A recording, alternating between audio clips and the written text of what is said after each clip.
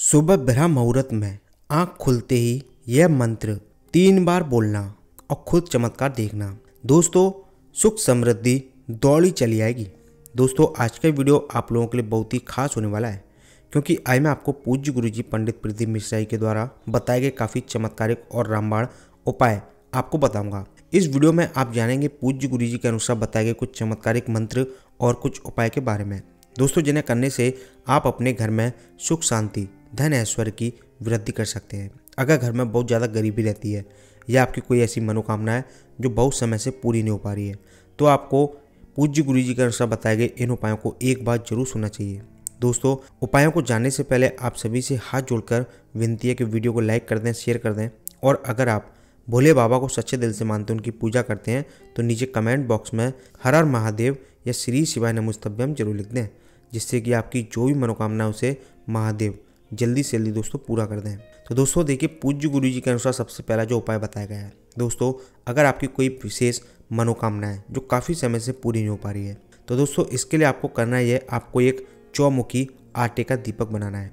दोस्तों चौमुखी आटे का दीपक और दोस्तों एक आपको पीपल का पत्ता लेना है जो कि साबुत और हरा पीपल का पत्ता होना चाहिए। अब दोस्तों आपको करना यह है, जो आप आटे का दीपक लेंगे, उसमें दोस्तों आपको तिल का तेल भर लेना है। और आपको चार लंबी वाली बाती रख लेनी है। आप रुई की बाती बनाएँ, ठीक है? और दोस्तों, अब आपको उस दीपक में चुटकी भर काले तिल डाल लेने हैं। अब देखिए, आपने जो पीपल का पत्ता लिया है, उस पीपल के पत्ते को और आटे के दीपक को, दोनों को अपने साथ लेकर किसी भी शिव मंदिर में चले जाएँ, ठीक है? शिव मंदिर में जाकर शिवलिंग के पास बैठ जाएँ, ठीक है? वहाँ जाकर आपको करना यह जो आपने दीपक लिया है। उस दीपक को आपको अपने सर के ऊपर से एक बार चुपचाप से वार लेना है। कोई आपको देखे नहीं, इस तरीके से, ठीक है? दीपक को वार कर अपनी मनोकामना को अपने मन में दोहराते हुए या याद करते हुए आपको दीपक को प्रज्वलित कर देना है।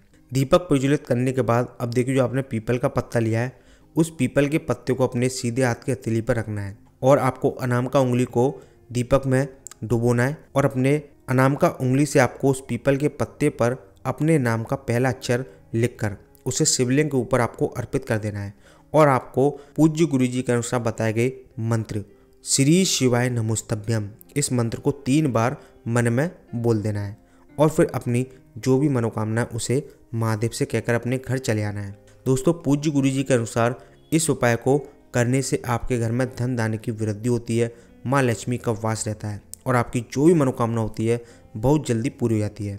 साथ ही पूज्य गुरु जी का कहना है, दोस्तों, यह मंत्र बहुत ही पावरफुल मंत्र है। दोस्तों, इस मंत्र को जो भी व्यक्ति सुबह बिरा मुहूर्त में आँख खुलते ही तीन बार बोलता है या उसकी श्रद्धा है, तीन बार, ग्यारह बार, इक्यावन बार या कुछ समय तक श्री शिवाय नमुस्तभ्यम मंत्र का जप करते रहता है तो उसकी मनोकामना बहुत जल्दी पूरी हो जाती है और घर में धन धान्य, सुख समृद्धि की बरसात होने लगती है। तो अगर आपको पूज्य गुरु जी के अनुसार बताए गए उपाय अच्छे लगे हों तो दोस्तों इन्हें फटाफट से लाइक कर दें शेयर कर दें और नीचे कमेंट बॉक्स में सच्चे मन से हर हर महादेव ज़रूर लिखते हैं, जिससे कि आपकी जो भी मनोकामना है, उसे महादेव जल्दी से जल्दी दोस्तों पूरा करते हैं।